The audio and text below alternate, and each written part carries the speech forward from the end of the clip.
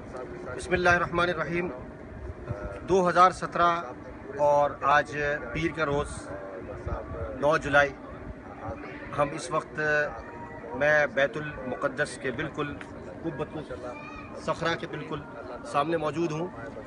आज चार रोज़, अल्हम्दुलिल्लाह, हमें हो चुके हैं और हमारे जो कायद सफ़र हैं, मुफ्ती अब्दुल वहाब साहब, दामद बरक़ातुम की रफ़ाकत में अल्हम्दुलिल्लाह, पूरा एक ग्रुप यूके से तशरीफ़ लाया हुआ था और इसमें मुख्तलिफ़ ख़वान हजरात और हमारे बुज़ुर्ग हजरात मौजूद थे, नौजवान भी थे। मुफ्ती साहब के इस सफ़र में हमें बहुत कुछ सीखने को मिला और बहुत सारे मकाम के हमने ज़्यारतें भी की और अब हम इन अज़ीज़ आखिर के अंदर जो हमारे आखिरी ज़्यारत जो एयरपोर्ट के करीब है, वो बड़ी अहम है मुसलमानों के लिए।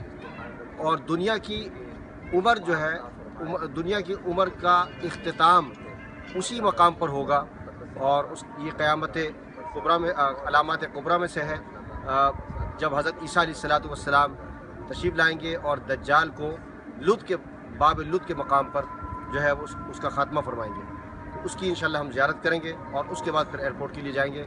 मैं तहे दिल से जो इस ग्रुप के जो लीडरान हैं और जो जिन्होंने बड़ी शब रोज़ जितने भी रफ़ा थे उनकी बड़ी खिदमत की है। खसूस तौर पर हमारे भाई फजल महमूद साहब, मुफ्ती अब्दुल वहाब साहब और दीगर रफ़ा इन तमाम हजरात का बेहद ममनून मशहूर हूँ कि इन्होंने हमें अपॉर्चुनिटी दी और हमें मौका दिया कि हम इस मुक़दस मकाम की ज़्यारत करें।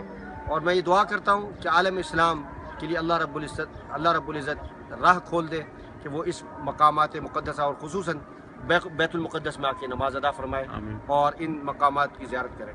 जजाकम्ला वसलम वरहमल वर्का